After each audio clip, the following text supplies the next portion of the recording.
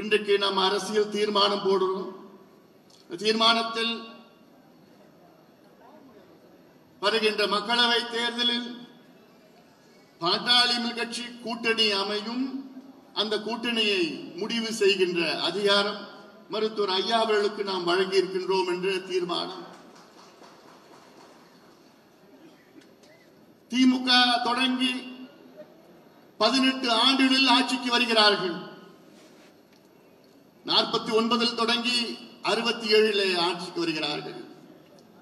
அண்ணா திமுக தொடங்கி ஐந்து ஆண்டுகளில் ஆட்சிக்கு வருகிறார்கள். எழுபத்தி ரெண்டிலே தொடங்கி எழுபத்தி ஏழுல ஆட்சிக்கு வருகிறார்கள். ஆனால் பாட்டாளி கட்சி தொடங்கி முப்பத்தி நாலு ஆண்டுகள் ஆகியும் இன்னும் நாம் ஆட்சிக்கு வர முடியவில்லை. இன்னும் நாம் கூட்டணி என்று பேசிக் கொண்டிருக்கின்றோம். இது எப்பொழுது மாறும்? மாறணுமா வேண்டாமா? மாற வேண்டும். மக்களுடைய மனநிலை இப்படி இருக்கிறது. மக்களுடைய மனநிலை மாறி இருக்கிறது மாறிக்கொண்டிருக்கிறது. அந்த மாற்றத்தை நாம் எல்லோரும் சேர்ந்து கொண்டு வருவோம். நீங்கள் கொண்டு வர வேண்டும். ஐயாவுடைய கனவு எவ்வளவு இருக்கிறது? தமிழ்நாடு எப்படி இருக்க வேண்டும்? இந்தியா எப்படி இருக்க வேண்டும்?